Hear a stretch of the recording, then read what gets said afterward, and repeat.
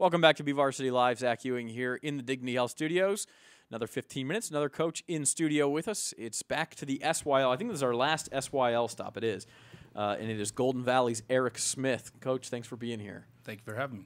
And uh, this is a team, by the way, that was pretty good two and three years ago and could be very good again this year. Is that right? Yes. At, at least you hope that's how it works out. But the what we work for. The, the, point is, you do bring quite a bit back. T- talk to us a little bit about some of the guys who will stick out this year. Uh, we're, we're pretty proud of our tailback. You know, he's going to be a three-year starter for us. This will be Andrew his third Dean. year. Yeah. Andrew Dean. Uh, we also have Jacob Vallejo, outside wide receiver, Jakai Harrell, slot receiver, Chris Williams, slot receiver. Those guys have all been uh, either three or two year starters.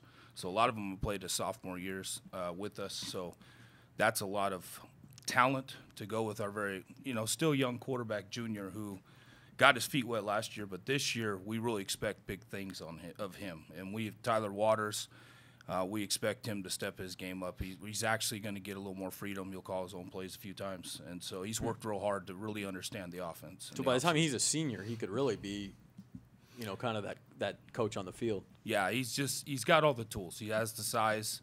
Uh, we need to work a little more on his speed a little bit, but he's got the arm strength, and he's worked real hard this year on his accuracy. Erich, I'm a, being able to pull the trigger quick too.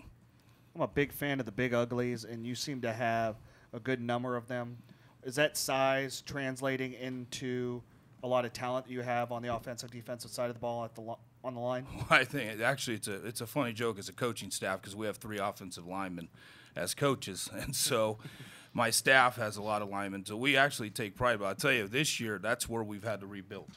Okay. And we we're having to move some younger guys up. Okay. And we're going to have some juniors starting.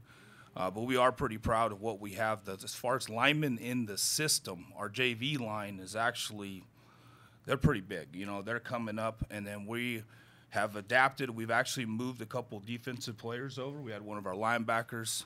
Uh, his name is Dima Riza. He's actually moved from linebacker to offensive line, help us with a little bit of speed. Uh, for we, we're a pull and trap team. You know, we don't. We're not necessarily a zone team, so we like that speed up front.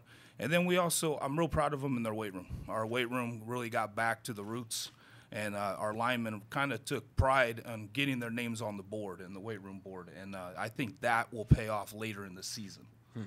And uh, closer you get to playoffs. And it's right. a, it's a new league and it's a tough league, really, if you look at it. Uh, what, what do you make of that new league? I mean, are you happy with, with the fit with bringing in Independence Tehachapi. That, I mean, those are tough, tough opponents. Yeah, they are. And, you know, and I tell the kids we don't control the league. You know, they, I, I tell them it's an honor to be put in this category.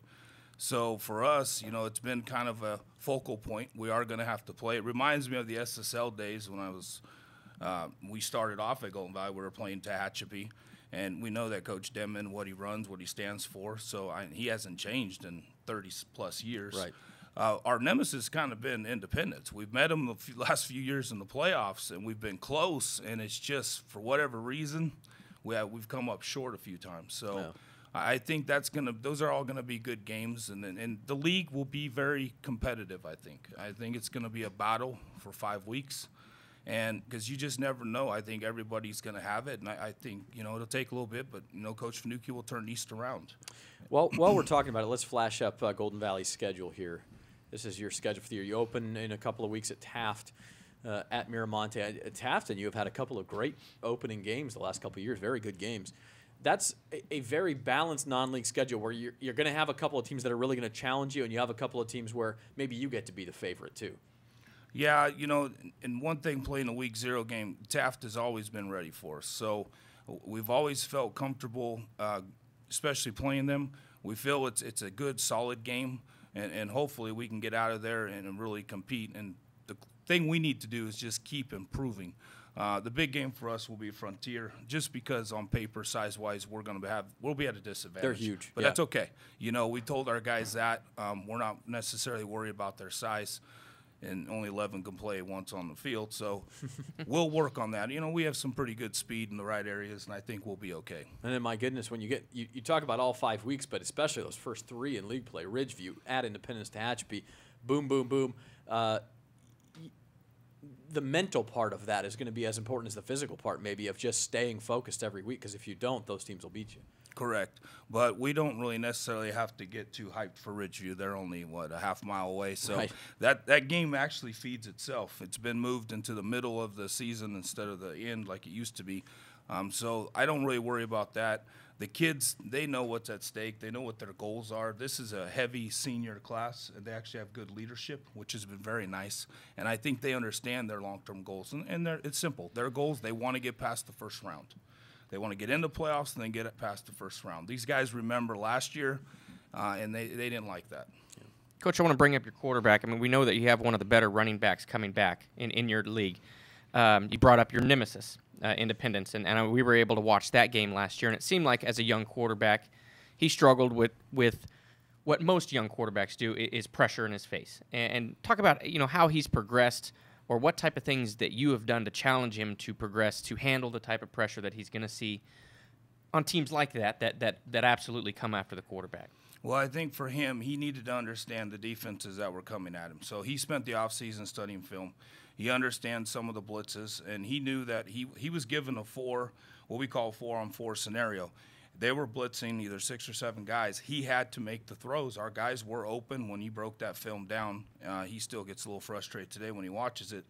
And he didn't. He didn't make. There was some corner routes he didn't make, and he knew that. And he says, "I'll make those routes. I'll practice that, and I'll be able to stay in there." And he also has to know it, it, there's a mental toughness for a quarterback that you you got to lead that front leg, and you need to be able to deliver that ball, even though that linebacker is going to pop you underneath your chin.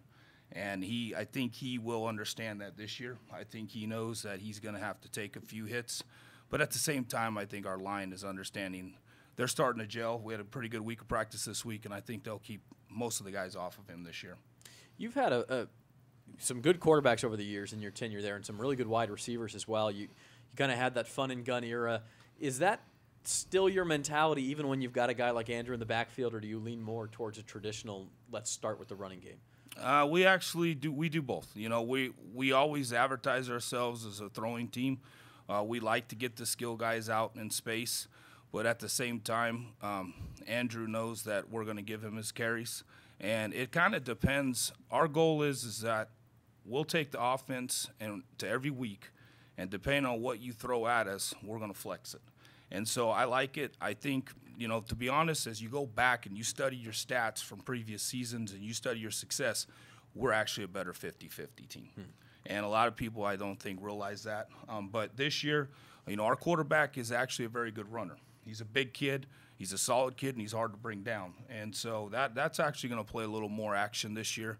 Um, but we have some receivers that you know they're not they're kind of egotistical. They want the ball too. So it's a As it's all a receivers challenge in are. practice. It kind of reminds me of, of what Gerald Pierucci said yesterday that, hey, you know, we're, we're looked at as a passing team, but we're 50 50. When Kern County 50 50 is a passing team, no, nobody else throws it it that is. much.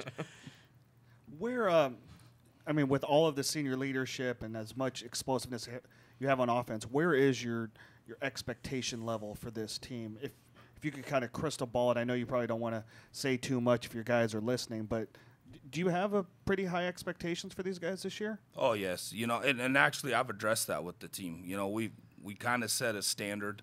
Uh, we try to, and we even had some of the first, very first alumni teams back when Coach Arnett. They actually, a couple guys have come back and talked to our guys. This year was the first time we ever did that. We've been 10 years now, school open, so it was nice. And you know, these guys had no idea who they were, and it was just we're trying to set an expectation of competing every week. And I tell them that if you can do that, everything else is going to fall in line. And you know, like you said, when we put up our schedule, we have a tough road at a few bits in that in the middle of that season, and we're going to have to be able to compete. And hopefully, m- mentally, that's probably the number one I'm working on. It's just compete at a high level, finish every play you start. Yeah. And that's what we've really been preaching this year. I was thinking about Golden Valley earlier today, and I, I don't know that, that you guys fit into any one category when we start talking about teams around Bakersfield because you're no longer the newest school. You've, you've had Frontier, Miramonte, Independence since, since Golden Valley opened. You're not exactly an East Side school way down there, uh, you know, almost south of town. Uh, but but you're certainly not a West Side school. You kind of have that feel of being the underdog, but you've had some league championships too. I mean, when you look at your program, you've been there a while now. What would you like to be, and how close are you to that? Well, we would like to be in the upper echelon. Uh, Our goal is always be at the top in the league. Um, I'll say we're kind of the hidden school. I I think a lot of people don't know about us, and our kids are kind of they're kind of quiet. We don't make a whole lot of noise, but at the same time, you know, we want to be known that when you play us, you're playing a solid program, you're playing a solid team, and so hopefully we can get that with this new league. I mean, that, that's your new goal. I think everybody's going to set that goal. You know, things have changed. Back in the past, you had to be league champs to get the playoffs. So a couple years ago, we actually changed. Our coaches got together and said, "You don't need to be league champs to go to playoffs anymore." So your goals can somewhat change a little bit, and if you don't necessarily get the league championship, you now need to still set the goal to get the playoffs. So it's kind of weird, you know. It's not the past. It's not the '90s and early 2000s where you had to be league champ to move up. And so nowadays, you can get yourself, and you can still make a run into the playoffs, and that's that's always our goal. Well, and that also helps as a coach too, because you know you take a couple, you know, bumps here, bumps there. You could say, guys, listen, as long as we're the best we can be when the regular season ends, we still got a shot to keep playing in through November. Yeah, and that's what's nice, and I'll tell you that actually helps the motivation too.